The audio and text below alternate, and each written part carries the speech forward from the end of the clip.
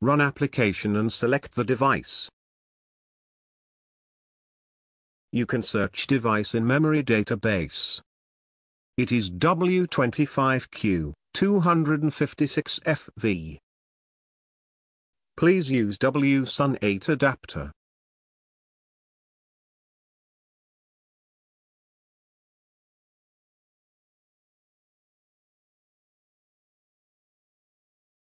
And insert the device into external adapter.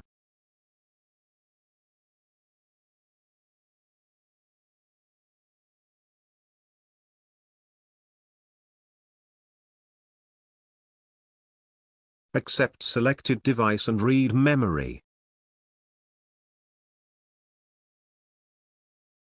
Transfer rate is about 10 megabits per second.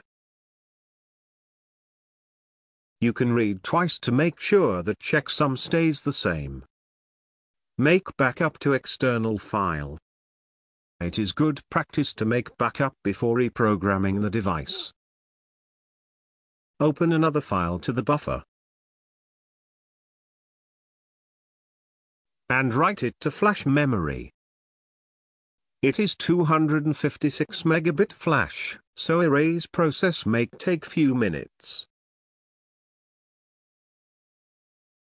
Transfer rate depends on flash memory speed.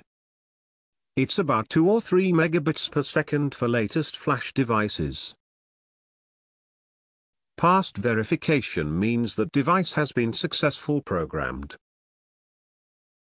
Now you can remove external adapter from programmer's socket.